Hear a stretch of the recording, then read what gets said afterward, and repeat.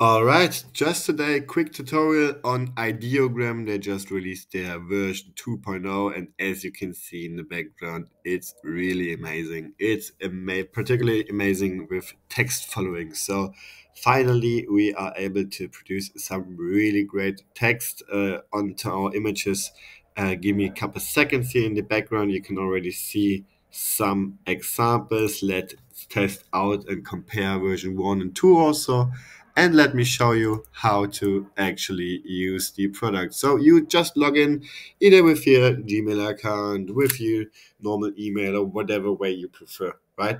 I usually like to do it via email. Let's set up. We are Tutorials Modern. All right, create our profile with the username and name that you want. It's not that important.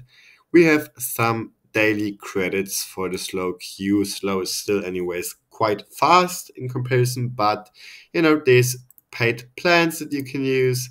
You know, uh, these generations are public, so if you want, you can make them private with a paid plan. And you know, there's a couple more premium features, but let's get right into it. Start creating.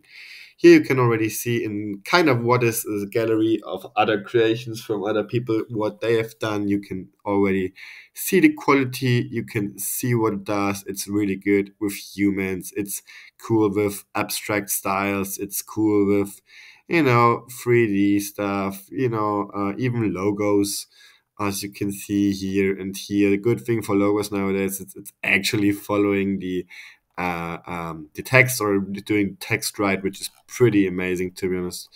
Um, let me show you also some examples, which I personally also find pretty amazing. Um, also, you know, there's some feed cool features that they have. Here you have the generation box where you can start to generate. We want to describe what we see, right? Our prompt. Here is magic prompt, which optimizes if we have it on auto or on. It automizes our prompt if you are not the best person in prompting or if you are just, you know, lazy or, you know, I, I am also, I don't like to prepare all the prompts perfectly. So auto or on is perfect for me. You know, we can use the aspect ratio if it's for like a short format one to one or like 16 to 9 let's for example use 16 to 9 visibility you know casually on public. You can do it on private if you have a paid plan.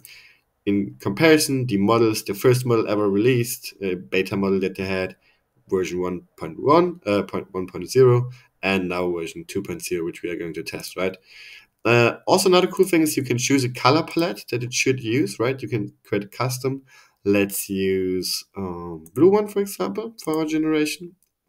Um, rendering. Yeah we can set on fast and quality right? If we have premium we can use a seed and a negative prompt also.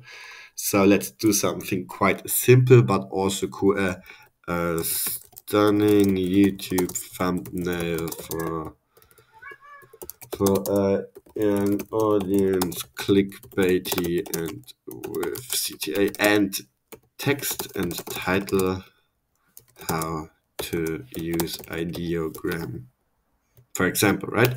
Uh, da, da, da, da. It's for our AI tutorial channel as an example. So you can pretty detailed, you know, describe what you want. Let's give it a couple of seconds. We are in the queue already, like we got 70%. We wait maximum of 30 seconds.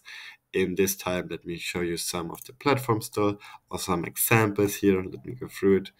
I really like, you know, the quality that it has the 3D versions, the prompt following, the text also, right? Especially the text is what makes it so amazing and people are bluffed with it. Oh, here we go, by the way. It was completed. How to use ideogram. That's an amazing uh, thumbnail. This is great as well. Maybe I don't like this here and this, but we could prompt better, right? Was my, my fault. This is also pretty cool. I guess we could use this straight away. Um, and this is also pretty cool. I don't know what those are, but those are pretty amazing. Also, make sure it was using this color palette. If we make it to automatic, right? Let's try the same with automatic and let's just remove this because the magic prompt will anyways do its magic, right? so yeah, we are again in the queue, right? It's just waiting a bit, as you know. We are going again to explore And by the way, it's also really great in you having detailed imagery and text even on the newspaper here, for example, right? And even on the vodka page, which is quite funny. Um, yeah, nearly finished. Couple more seconds for the generation. Let's look through some text. Also cool here for. I guess this was like a T-shirt design or something. Um, so yeah, what was what's the upside here? How to use a ideogram? Learn now. Great thumbnail. This also great thumbnail. Not bad at all. Maybe too many people, but you know, it's really good in text. As and if you prompt better than I just did, you know, you can even you know expect way better results, right? So it's really great in prompt following, in, in real world understanding, and especially the capabilities in text. So make sure to try it out for free. You know, they even have an API, which uh, is quite cool. It's not expensive, so. Um, couple cents i would say 8 to 10 cents per generation so yeah give it a go test it out have fun and thank you very much for watching